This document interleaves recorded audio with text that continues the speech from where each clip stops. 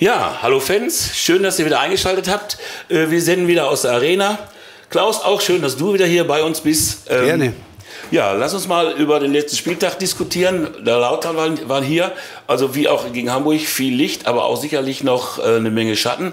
Wichtig war aber, glaube ich, dass wir zu Hause jetzt gewonnen haben, 3-0. Ähm, das bringt der jungen Mannschaft doch, denke ich mal, eine gewisse Stabilität und Selbstbewusstsein. Ja, man muss ja sagen, wir haben in den beiden Spielen sechs Tore gemacht, aber haben auch fünf reingekriegt. Und äh, haben der Torwart äh, eigentlich überragend gewesen, auch in, in Hamburg. Äh, und äh, von daher müssen wir schauen, dass wir ja, ja. hinten ein bisschen besser ausschauen. Mhm. Ja. Und äh, vorne, wenn man sagt, jetzt haben wir zweimal drei Tore gemacht, dann könntest du normalerweise nicht meckern. Aber wir spielen ja gegen 1. FC Kaiserslautern, der lange mit nur neun Mann gespielt hat. Ja, die sind auch ganz klar bis ins Spiel gekommen. Die haben uns ja. unter Druck gesetzt, standen viel bei uns vorm Tor. Ja. Muss, man, muss man ein bisschen souveräner sein, denke ich mal. Und auch, äh, ja, die eigentlich damit gar nicht mehr ins Spiel kommen lassen, weil wenn ich zweimal mehr habe, ja, dann muss ich ballorientiert bin, äh, bin, dann muss ich draufgehen. Ja. ja, da kann ich nicht die, die spielen lassen und die, die kommen auch noch zu Chancen. Und der Torwart hält dann äh, Gott sei Dank gut. Aber es sind zwei Spiele rum. Erstmal. Aber man muss auch sehen, wir haben auch Spiele verloren.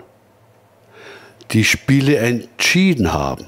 Das ja. war Bülter und war Salazar. Ja. Die haben wir jetzt, diese Individualisten, die haben wir jetzt im Moment nicht. Weil ich sehe keinen, der mal jemanden weglaufen kann, der mal umspielen kann. Das waren aber die beiden. Mhm. Und deswegen, glaube ich, müssen wir kompakt, die Mannschaft muss das. Äh, da muss eine Mannschaftsleistung sein. Ja, die Mannschaft muss das machen. Äh, einzelne Spieler, äh, die das sowas entscheiden können. Natürlich kann der Rote vorne äh, die Tore machen, aber er braucht auch Zulieferer. Und wenn die nicht kommen, wird es schwer. Ja, Zulieferer, da sagst du vielleicht gerade was. Also der auffälligste Mann für mich am Platz war eigentlich der äh. Der war schlussendlich an allen drei Toren beteiligt. Der zweite hat er noch selber geschossen. Äh, das erste hat er vorbereitet. Und also da ist ja schon mal zumindest, das ist die, einer der Lichtblicke, die ich so sehe. Und wie du auch gerade schon mal sagtest, äh, der Marius Müller bei uns im Tor ist, glaube ich, auch endlich mal wieder ein Garant. Also der hat auch schon in Hamburg Spitze gehalten. Hier auch Reflexe, finde ich toll. Arbeitet auch mit der Mannschaft mit und versucht das Spiel dann auch von hinten so ein bisschen nach vorne zu treiben. Ähm, das sind die, die Lichtblicke, die ich habe. Und noch der Terodde. Da ist der Tor, äh, Tormaschine in der zweiten Bundesliga. Also das funktioniert ja auch in Hamburg. Das Tor wohl leider nicht gegeben. Äh, ja, hier das Kopfballtor, also stark. Ja, über, über, über Terode in der zweiten Liga braucht man uns ja nicht zu unterhalten. Ja. Man müsste sich dann wieder äh, mit der ersten Liga unterhalten. Da sieht die Welt ganz anders aus. Und äh, weil das sind ganz andere Gegenspieler, ganz andere Mannschaften. Das ist äh, nicht so wie in der zweiten Liga. Und trotzdem, äh, auch ein Terode kann die Tore nicht äh, machen, wenn nichts kommt. Wenn er nicht bedient wird. Das der war muss, schon immer so. Der muss bedient werden und, und das war ja so äh, mit Bülter und auch mit Salazar. Und jetzt die Neuen, die da gekommen sind, ja, die müssen sich erst einmal einfinden und merken, was hier los ist bei äh, 60.000 Zuschauern im Stadion. Und äh, ja, äh, der Start ist jetzt ja, man kann nicht sagen äh, äh, äh, gelungen, aber wir haben ja auch, äh, wo wir, wo wir abgestiegen sind, zweite Liga, angefangen mit einer 3-1-Niederlage hier gegen den HSV. Jetzt haben wir gegen den HSV wieder verloren, aber in, in Hamburg. In Hamburg, ja. Vielleicht ist es ein gutes Omen äh, HSV steigt wieder nicht auf und wir schaffen es dann doch. Ja gut, Geschichte wiederholt sich, wissen wir. Ähm, aber ich sage mal aus Fansicht, man muss auch einfach mal sich den Mund abwischen und die drei Punkte mitnehmen. Nochmal, wir haben, glaube ich, äh, äh, fast eine ganz neue Mannschaft, die müssen sich zusammenfinden, das Zusammenspiel muss wieder passen. Ähm, du kannst viel trainieren, aber die, die äh, Situation dann, wenn es hier rund geht am Platz und gerade in der Arena, wie du schon sagtest, wir hatten eine voll äh, ausverkaufte Hütte, dann musst du da unten, dann äh, bist du erstmal beeindruckt und musst dich einfinden. Also von ja, daher ja. war der sich auch sehr wichtig wichtig. Man darf den Gegner nicht so viele, Räume, so viele äh, Räume lassen, wie wir es getan haben gegen Neumann. Ja, und äh, da muss äh, Verantwortung übernommen werden von, von hinten ab bis vorne, dass wir aggressiv wieder zu Werke gehen, dass wir die äh, so unter Druck setzen, dass sie Fehler machen. Mhm. Die haben es ja im Grunde genommen aus der Torwart Also das gemacht. erste Tor ist im Prinzip auch äh, so entstanden, äh, das war ja ein Einwurf, wurde super angenommen, hat ihn gut abgedeckt, den Ball. Und dann äh, ähm, ja, gab es dann das Foul und dann den Freistoß und dann hat der Tirol ja äh, das Kopfballtor gemacht. War ja eigentlich schon ja, gut. eine gute Geschichte. Man weiß ja, äh, wenn die Flanken von, von, von links oder von rechts kommen, dass er gefährlich ist, auch mit Kopf. Und äh, der Rote weiß, wo das Tor steht, kann Tore machen in der zweiten Liga. Da braucht man uns nicht äh, zu unter, unterhalten, müssen wir uns eigentlich über die äh, Tore, die wir in Hamburg gekriegt haben. Äh, wie die Aktionen, die wir auch zu Hause hatten, wo auch hätte schief gehen können. Das sind so Sachen, das muss man vermeiden. Ja. Und das kann, kann man vermeiden, äh, weil äh, der Gegner, wo er noch in Unterzahl war, auch da, da, muss ich dabei bleiben, da muss ich drangehen an die Leute, da kann ich den, nicht, nicht den frei Durchlauf lassen oder so. Das ist die Abstimmung du auch, die, in Hamburg, ne? ja, die aber noch ein bisschen fehlt. Und äh, ja, es wird weitergehen und es geht ja ganz schnell. Ja, die nächsten Spiele, auch Braunschweig. Äh, Braunschweig zweimal, Braunschweig. einmal Pokal. Und, und dann es ist ja immer so, wenn jemand gegen Schalke spielt, laufen die mehr, da, da andere Leistung, als wenn sie gegen andere Mannschaften spielen. Das ist nun mal so weil äh, ja, Schalke will ja wieder aufsteigen. Ist ja gesagt worden. Wir Schalke steigen will, auf. Wir Klaus. werden aufsteigen. Musst, der Thorsten hat gesagt, wir steigen auf. Ja. Also ganz wichtig. Ich bin ja mal gespannt. Du hast ja gerade schon gesagt, äh, das Beispiel gebracht von der letzten Saison gegen Hamburg. Vielleicht ja. wiederholt sich die Geschichte aber, wirklich. Aber da kommt ja noch, wenn mal eine Mannschaft, äh, äh, Mannschaft kompakt hinten steht ja, und über außen nichts kommt. Was, was passiert dann? Das sind so Fragen, ja, die wir zwar stellen können, beantworten müssen die das da unten. Und was noch äh, ist, wir haben einen 17-jährigen Jungen, der in Hamburg wirklich sehr gut gespielt hat.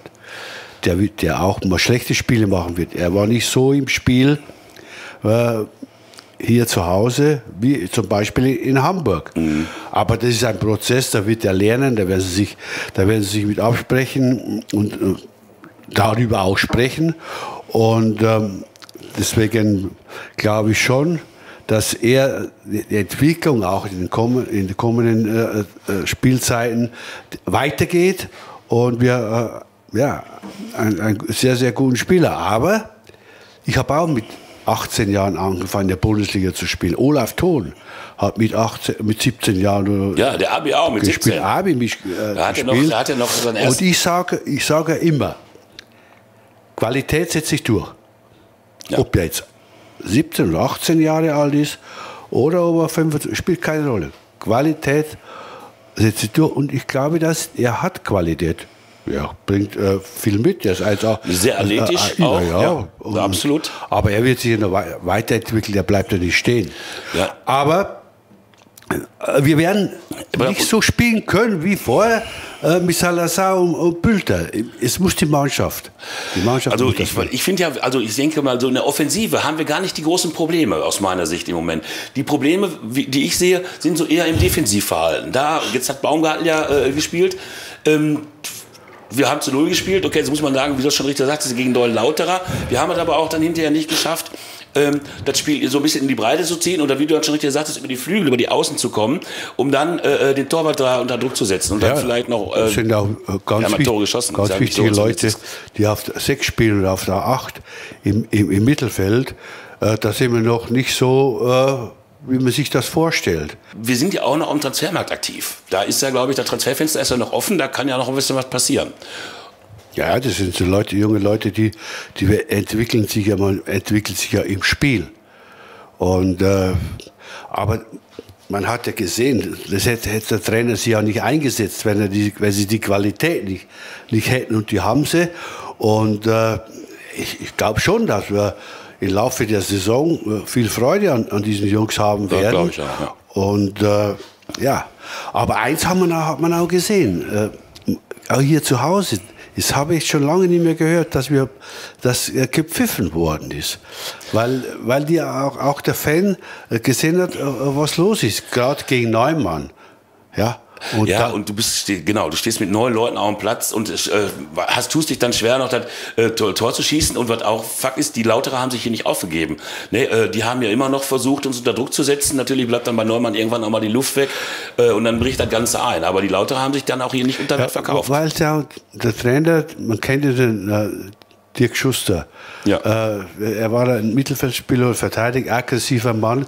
Äh, und das verlangt er wahrscheinlich auch von, seinen, äh, äh, von seiner Mannschaft. Und die haben das äh, relativ gut gemacht, obwohl sie dann 3-0 verloren haben. Das, das spricht halt dann für uns, da wir dann eben die Tore äh, gemacht haben. Aber wie du hast es auch schon angesprochen. Ein Trainer hat mal gesagt, zu null. Die Null muss stehen. Die Null muss stehen. Und da hat, er auch recht. Wenn die Null steht, verliere ich schon mal kein Spiel. Und Chancen zum, zum Gewinnen wirst du immer wieder kriegen. Und gerade Schalke 04 in, in der zweiten Liga. Und deswegen müssen wir das, dass wir hinten geordnet sind, dass dann äh, nicht viel anbrennt weil ich denke mal, dass da andere Gegner noch kommen werden, wie der erste FC Kaiserslautern. Ja, andere Gegner. Jetzt, wie gesagt, Braunschweig hatten wir gerade angesprochen, müssen wir jetzt zweimal hin. Würdest du mit der gleichen Elf auflaufen, äh, die der Thomas jetzt äh, gebracht hat? Ich weiß jetzt nicht, wer zur Verfügung steht. Wenn es alle zur Verfügung stehen, kann man, kann man nicht immer permanent, permanent wechseln. Die Mannschaft muss ja muss ja zusammenspielen, die Mannschaft muss sich finden und da kannst du nicht immer pausenlos wechseln. Und deswegen ja. denke ich mal, wenn alle äh, fit sind und so weiter, werden sie auch äh, wieder, wieder so spielen. Da kann man gut vorstellen. Ja, dann hoffen wir mal, dass wir dann wirklich jetzt gegen Braunschweig dann auch im Pokal noch weiterkommen, dann noch drei Punkte hier äh, holen. Wir müssen ja, wie gesagt, zweimal nach Braunschweig. Ja, ja.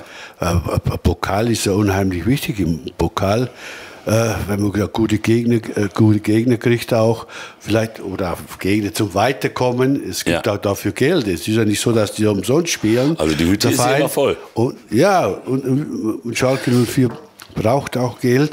Und äh, es ist immer schade. Weißt du, wenn du eine Mannschaft hast, äh, und da musst du Spieler abgeben, weil sie ausgeliehen ausgeliehen sind. Die gehen wieder zurück.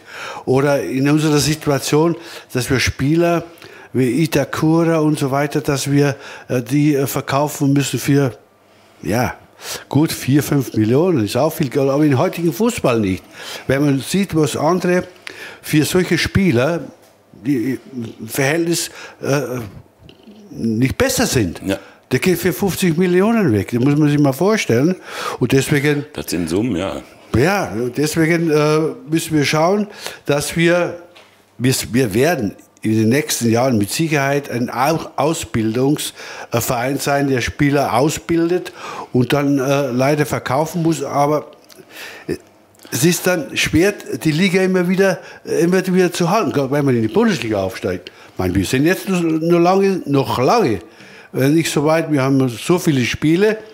Und, aber äh, die Jungs müssen wissen, die müssen Gas geben von der ersten bis zur letzten Minute, egal gegen welchen Gegner. Bis ich ihn soweit habe, äh, dann kann ich auch äh, Becher ja. laufen lassen. Ja. ja. So geht das nicht. Ja, dann sehen wir uns ja bei den nächsten Spielen dann auch wieder, Klaus. Und dann hoffe ich dann auch mal wieder in voller Besetzung. Wie gesagt, Abi wird äh, nächste Woche dann, denke ich, auch wieder dabei sein. Ähm, ja, dann ja, die Fußballschulen sind zu Ende. Ja, und was du gerade sagtest, mal Ausbildung fällt mir gerade noch mal ein. Äh, Thomas Reis hat ja auch gesagt äh, zu dem jungen Spieler aus Bayern, die werden den hier weiter ausbilden. Ne? Und wie du schon richtig gesagt hast, wir werden noch weiterhin in Ausbildungscamp sein. Tja. Ja, das, das, geht, das geht ja gar nicht anders. Du musst schauen, dass du gute junge Leute äh, äh, äh kriegst und, und die weiterbildest. Dann hast du erstmal als, als, als Verein, als Mannschaft was.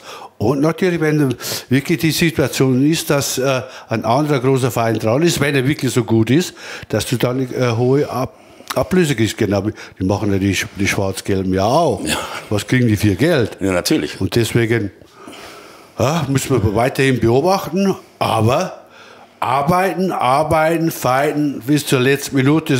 Sonst geht es nicht. Und wer da nicht mitzieht, wer das nicht mehr, der hat da keine Chance. Ja, und gute Ausbilder haben wir doch hier, Klaus. Du bist ja eine Bombe als ja. Stürmer. Du kannst doch zumindest zeigen, wie man Tore schießt. Aber ich bin ausgebildet worden. Auch, du bist auch Und weitergebildet ja, ja, bei 60 München, du kam in der Schalke. Ja, da war ich schon ein gestandener Bundesligaspieler. Ja. Ja, danke schön für deine Analyse. Ich bedanke mich bei euch draußen für euer Interesse und freue mich dann auf nächste Woche, wenn wir dann wieder mit der kompletten Combo hier sind und ja, die Spiele gegen Braunschweig analysieren werden. Glück auf und nur der S04. Glück auf.